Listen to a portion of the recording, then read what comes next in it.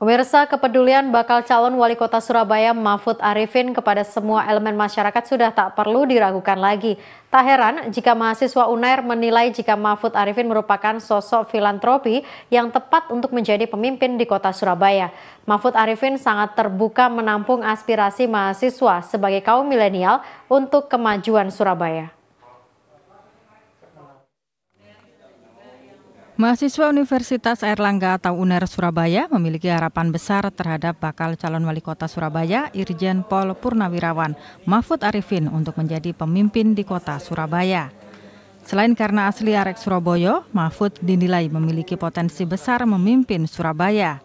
Pengalamannya yang luas dan ide-ide besar Mahfud Arifin bisa membawa Surabaya bangkit.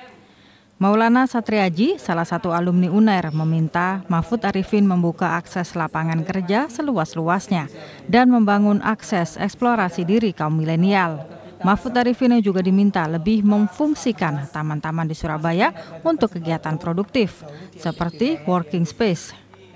Tidak hanya dijadikan wahana bermain tanpa ada manfaat yang berarti. Mahasiswa UNER menilai mantan Kapolda Jatim itu sebagai sosok filantropi yang peduli kepada semua elemen masyarakat sehingga tepat dijadikan wali kota Surabaya.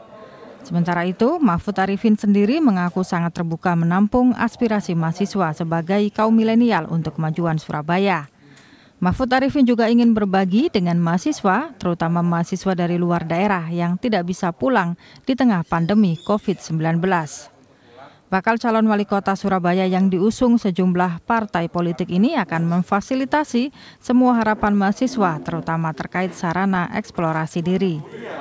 Curahan-curahan hati yang sudah kita tampung, terus kemudian kita eh, kita akan nantinya ke depan ya kita akan eh, perhatikan, ya, termasuk berharap pemerintah eh, kota untuk memperhatikan mahasiswa mahasiswa yang sudah daftar sini kuliah yeah. Iya. uh, sarana yang bisa digunakan hmm. untuk kreativitas yeah. muda hmm. tentunya ke depan yang juga akan kita persiapkan. Dewi Imroatin, CTV.